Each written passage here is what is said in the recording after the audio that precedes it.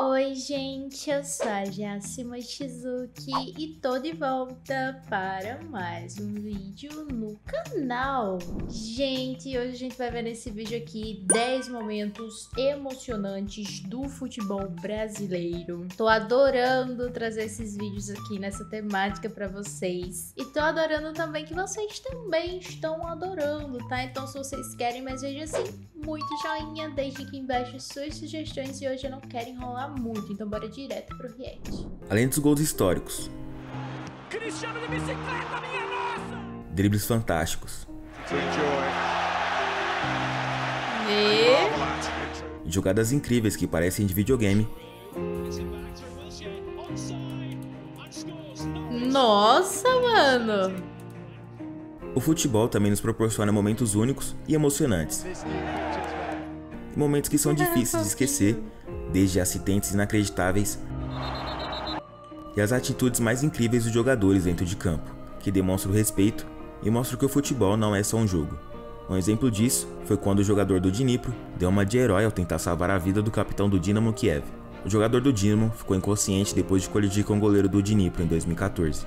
Ou então, quando o Francisconé viu o choque dos jogadores do time adversário e foi ajudar o goleiro até a chegada dos médicos. Mas antes de começarmos esse vídeo, é importante que você deixe seu like e se inscreva aí no canal para não perder nenhuma novidade. Agora que você já deixou seu like e se inscreveu no canal, vamos conferir 10 momentos emocionantes do futebol.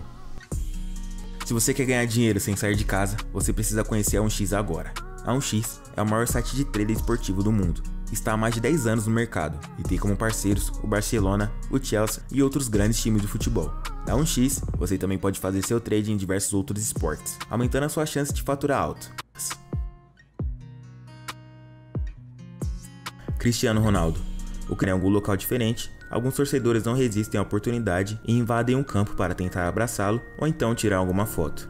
Em uma partida pela Champions League, a Juventus enfrentou o Manchester United, na Inglaterra. Dois torcedores invadiram o campo no final da partida para abraçar o Cristiano, e a atitude de Cristiano foi surpreendente. Nossa!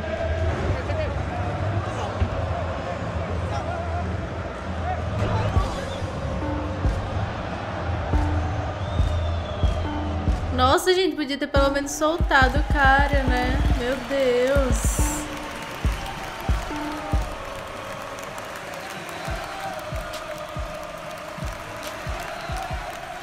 Ah, tadinho, mano. Tirou a foto toda agarrado pelos outros. Em 2014, o capitão do Dinamo Kiev, Oleh Rusev, ficou inconsciente ao colidir com o goleiro do Dnipro. O jogador do time adversário, o Jaba Kankava, tentou ser um herói quando forneceu ajuda a Rusev, que mais tarde foi retirado em uma maca. A intenção do jogador do Dnipro era abrir a boca do adversário para que ele não enrolasse a língua e assim pudesse respirar.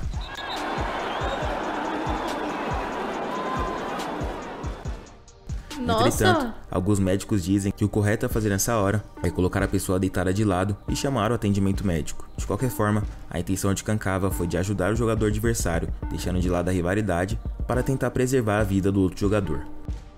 Nossa, mano. Lucas Moura.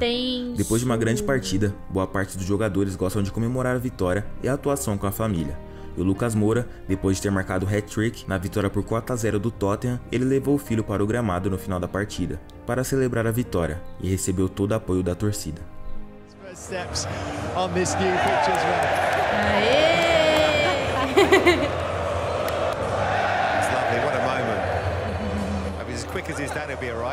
Cara, que legal, mano. Quer ver, ó? Aê!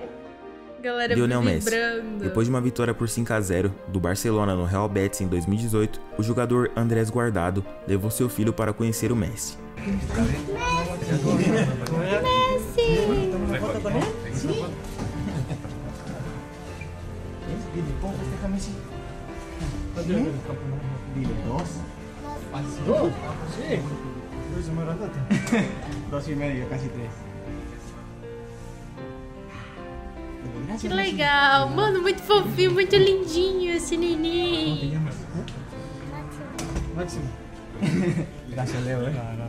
Gracias, buena suerte. Gracias.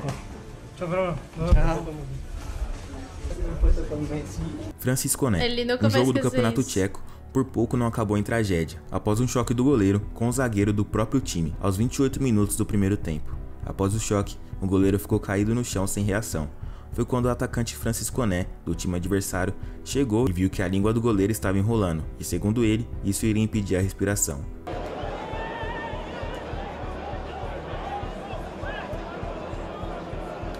Gente do céu.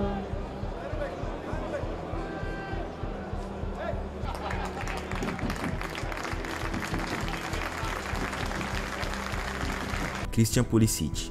O Pulisic é americano e atuava pelo Borussia Dortmund antes de jogar no Chelsea. No passado, o time esteve em uma competição de jogos de pré-temporada nos Estados Unidos, onde o Pulisic é um verdadeiro ídolo. E após a partida ter terminado, um fã invadiu o gramado, mas isso aconteceu.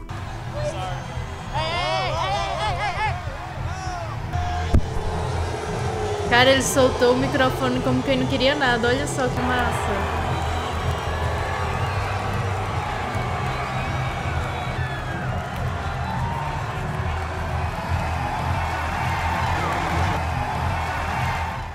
Mark Bartra. No dia 11 de abril de 2017, o ônibus da delegação do Borussia Dortmund foi alvo de um atentado a bombas, depois de sair do hotel pouco antes da partida contra o Mônaco pelas quartas de final da Champions League.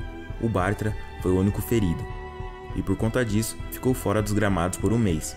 Depois de ter vencido Nossa, uma partida gente, por 4 a 3, tadinho. os jogadores do Borussia após o apito final decidiram prestar uma homenagem junto com a torcida para o jogador que ficou ferido.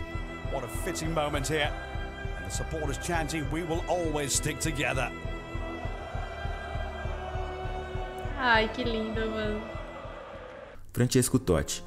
O Totti sempre foi um grande ídolo na Roma, afinal, ele recusou grandes times e grandes ofertas para dedicar toda a sua carreira ao clube. Ele se aposentou com 41 anos, fez mais de 700 jogos e marcou mais de 300 gols em toda a sua carreira. E na sua despedida, o estádio inteiro se emocionou.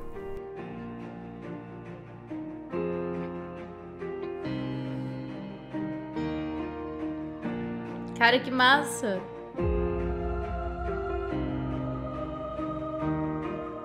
Florenzi. O Florenzi Gente, é muito bonito ver, assim, como muitos deles têm isso muito como uma família, entendeu? Tipo assim, vai além de um trabalho, vai além de, de apenas um jogo, entendeu? Tipo, eles, eles se, se, se, se tratam como família, tem um carinho, assim, como família, e tanto é, do time em si, quanto é, dos torcedores, da torcida para os jogadores, dos jogadores para a torcida, né? Eu acho isso muito bonito. marcou o segundo gol da Roma na vitória por 2 a 0.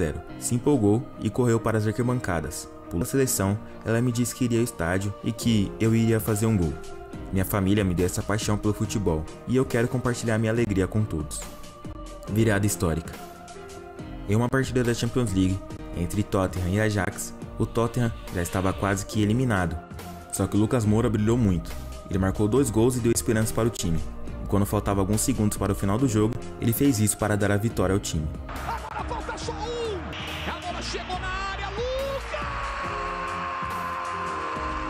Lucas! Como é que é que eu não, não enxerguei direito? A bola chegou na área. Lucas! Ah, o cara ali que marcou o gol. É!